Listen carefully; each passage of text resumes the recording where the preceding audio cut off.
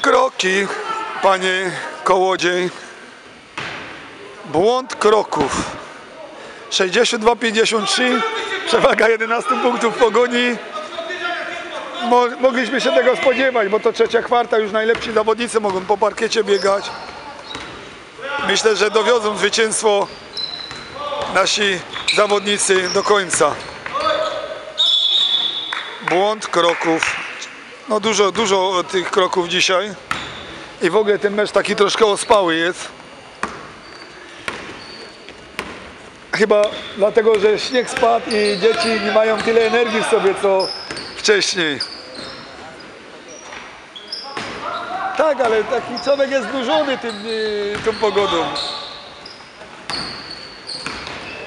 Kuba Nowak i znowu próba rzutu nieudana.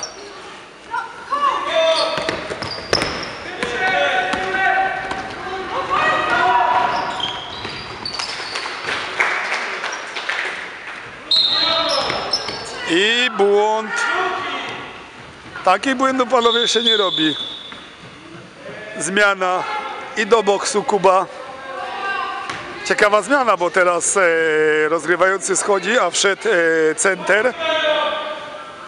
Chyba teraz rozgrywanie przejmie Tabaszewski.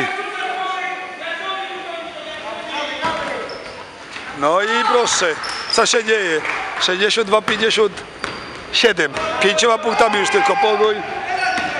Po dwóch błędach Kuby Nowaka, który nie dość, że wykonał rzut w nieprzygotowanej pozycji, to jeszcze zrobił stratę.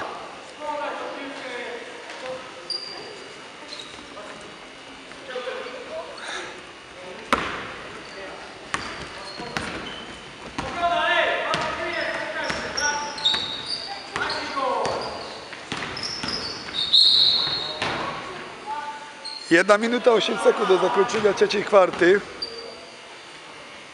Piłka z boku dla zawodników w żółtych strojach, czyli dla Mosiru Cieszyn.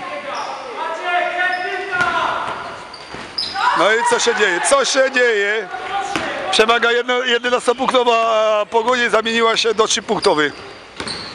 Kołodziej.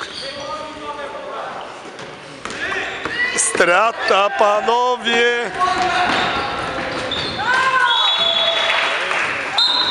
Time out, tego, mogli się, tego mogliśmy się spodziewać. Posłuchamy trenerów, co mają do powiedzenia.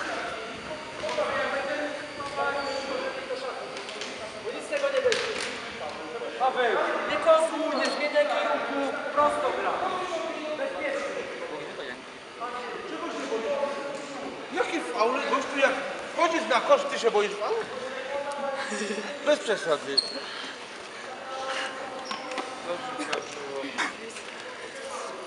Czempel już możesz?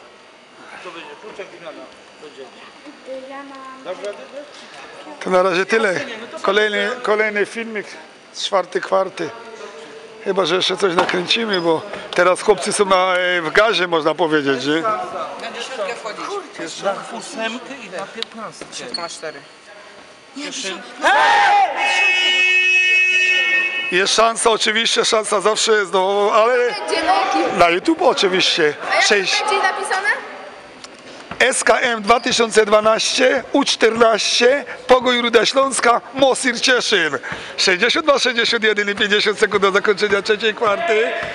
No myślę, że tu będziemy mieli trochę dramaturgii w końcówce tego meczu, ale nie ukrywam, że faworytem tego spotkania jest oczywiście Rudzka Pogoń. Chłopcy po raz pierwszy na tym parkiecie. Na tym parkiecie zawodnicy NBA grali kiedyś w latach 94-2000, kiedy Pogoń była w Ekstraklasie, przyjeżdżali tu najlepsi zawodnicy. Pogoń sama miała zawodników z NBA, ale to były stare czasy. Teraz czas stanął w miejscu w tej hali i od tego czasu się nic nie wydarzyło, a na parkiecie się wydarzyło to, że Cieszyl objął prowadzenie po rzucie, Ja się dowitam. po, po rzucie Wójtowicza. Pozdrawiamy, pozdrawiamy Państwa Wójtowicz. I oczywiście wychowawczyni w klasie. Ale ładny hak, teraz im pokazał kołodziej. 64, 63 i takie Takie coś nam się podoba. Koza kosz. Zapraszam w czwartej kwarcie. Będę filmował całą końcówkę, myślę, że dramatyczną.